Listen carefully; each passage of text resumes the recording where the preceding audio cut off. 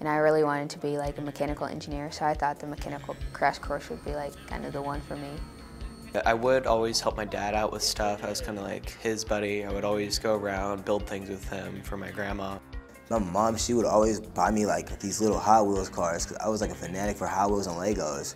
My brother handed me down like these kinetic sets eventually. We were building cars, so obviously it needed teamwork. We broke it down into little sections, so it's like how you build it, and the pre-build for what you do on like CAD and 3D print it. The highlight of my week has probably just been being around like friends, I guess, people who sort of like kind of get me. Probably a favorite part was seeing how we could build the car, designing it in CAD and in the machine shop. The machine shop, it goes raw materials and they kind of have it pre-coded for what it, like how the parts are supposed to be in the machine.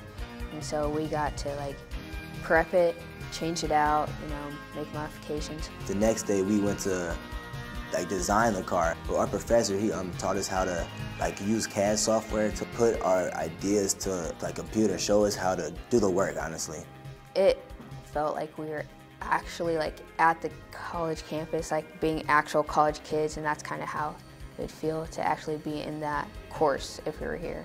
I guess I like breaking down things and like sort of reusing them to make like other things. So I think I might stray toward like civil engineering.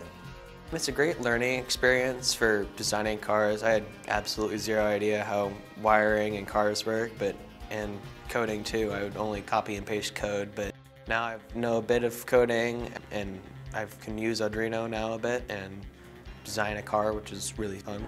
You told me to do that.